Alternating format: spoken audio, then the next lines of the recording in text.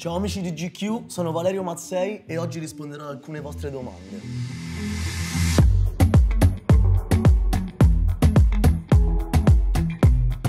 Allora, vi dico la verità, io tremo quasi più di voi. Non so se mi vedete sul palco, non so se vedete i video ultimamente che, sto, che mi state facendo mentre magari canto 12 luglio, ma sono veramente, veramente molto più emozionato di voi e molte volte non ve ne accorgete neanche.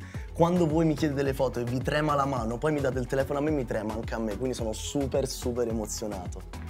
Sotto il punto di vista di cambiamento di vita, ovviamente è cambiato veramente tanto perché mi sono trasferito da, Mila- da Roma a Milano sono andato a vivere con i miei amici, ho i miei soldi, faccio la spesa, ho imparato a stirare, ho imparato a lavare i piatti, che cose che prima non facevo, quindi sotto il punto di vista del carattere non sono cambiato, ma sotto il punto di vista della vita in generale è cambiato tutto velocissimo. Tutti si aspettano sia 12 luglio e lo è, però ce n'è un'altra molto molto molto bella che non è ancora uscita ed è dedicata a mia sorella, quella che ci ho messo più a scrivere perché l'ho scritta completamente da solo, senza l'aiuto di nessuno e quindi ci tengo tantissimo e non vedo l'ora che esca così la potete ascoltare. Allora, sì, veramente tantissimo e la prova è proprio la canzone 12 luglio perché prima di quel momento non ne avevo mai parlato con nessuno dei miei amici, non ne parlavo neanche con la mia famiglia praticamente ed è quello che mi ha fatto innamorare della musica, diciamo, perché da quel momento ho capito che mi aiuta a dire cose che non ho il coraggio di dire in generale e quindi mi piace veramente tanto sempre. Una paura mortale ogni volta prima di salire sul palco, infatti a volte mi mandano dei video di io nel backstage che salto, tremo, perché ho sempre paura di arrivare sopra e scordarmi tutto. Non so se vi ricordate quando facevate i saggi a scuola o le recite di Natale, che il giorno prima sapevi tutto alle prove, quando stavi per sé hai fatto io non so più niente, o agli esami che studi, sai tutto, arrivi là e non ti ricordi assolutamente niente, però una volta che inizi ti tranquillizzi. Io già tipo la seconda, terza canzone sono molto più tranquillo, ma la prima Innanzitutto la prima nota stoni sempre, perché sei emozionato, non, non, sai cosa fare e poi ti rimetti in sesto e canti normalmente, però vi giuro, ogni volta ho veramente tanta paura. Raga, questa domanda me la fate tantissimo, anche quando mi incontrate per strada. Ovviamente in questo momento non mi piace la canzone Turbas perché sono cresciuto, mi sono evoluto musicalmente, però non cambierei assolutamente niente, perché comunque fa parte del mio percorso.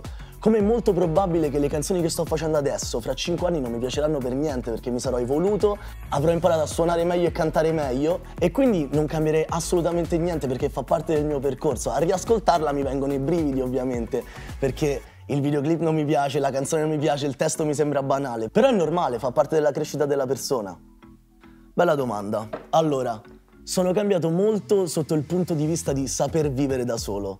La mia prima casa era un disordine completo. Ci stavano vestiti ovunque, non facevo la differenziata, c'erano sempre mille persone a casa mia, non sapevo gestire, non sapevo dire di no alla gente e quindi mi ritrovavo ogni giorno a dormire con 15 persone sul mio divano perché ero il primo dei miei amici a 17 anni ad avere una casa da solo e quindi tutti i miei amici salivano. Non sono ancora al top, però sono molto più organizzato di quando avevo 17 anni e mi vedo molto cambiato in questo. Qual è la tua idea di felicità perfetta? Come ve ne siete accorti, spero, dalle mie storie, io amo amo follemente i bambini, tantissimo, non vedo l'ora di avere un figlio e lo dico sempre, raga, sono follemente innamorato dell'idea di avere il mio sangue in un'altra persona. Quindi la mia idea di felicità completa sarebbe avere una casa completamente mia comprata, non un appartamento ma in campagna, cioè tipo devo stare tranquillo, largo, avere una mia macchina, una moglie bellissima, due figli, un maschio e una femmina, il maschio più grande di due anni, questo è ovviamente, si spera, cioè è l'ideale come avete detto voi, il maschio più grande di due anni e la femmina seconda, poi se si invertono non c'è problema, però due figli, macchina, casa e moglie, tranquillità.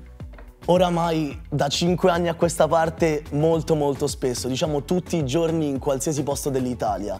L'unico momento in cui non succede è quando vado in vacanza all'estero. Tipo quando sono andato a Miami, a parte le persone italiane che stanno in vacanza a Miami non mi succede molto spesso, però oramai mi sono abituato, cioè fa parte della mia routine, non ci faccio neanche più caso, cioè nel senso è diventato normalità. Dei miei amici mi chiedono sempre, ma non ti dà fastidio andare in giro essere continuamente fermato che qualsiasi cosa fai ti possono fare un video? Però non so come spiegarlo, è come dire non ti dà fastidio andare a scuola.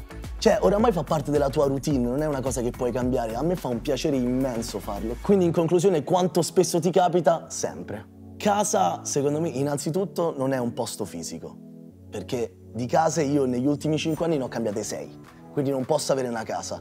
A Milano ogni volta cambio posto e quindi non mi affeziono neanche al posto. Alla fine è quando stai bene con delle persone e quindi io negli ultimi cinque anni tre li ho vissuti col mio coinquilino Tancredi, quindi in questo momento Tancredi è la mia casa. Può essere che fra cinque anni cambierò coinquilino e dopo tre anni di affezionamento sarà lui. Quando stavo a Roma era la mia famiglia, era mio padre, mia sorella. Quindi è in base alle persone con cui stai, non il posto dove vivi. Ho iniziato a sei anni a fare golf. Stranissimo, non se l'aspettava nessuno. Perché a mio padre piaceva molto il golf, io vedevo lui che giocava a golf ho detto pure io voglio giocare a golf. Quindi ho fatto due anni di lezioni di golf e il mio sogno era diventare un golfista. Poi sono arrivata alle medie e i miei amici a scuola facevano tutti calcio e quindi io li ho seguiti, dovevo restare a giocare a golf 100%, e ho fatto tipo 10 anni di calcio e ovviamente il sogno era diventare un calciatore. E poi crescendo ho cominciato a fare i social, il sogno era i social, si è realizzato e ora mi sono spostato sulla musica e quello è il prossimo sogno. Ci sono due modi principali.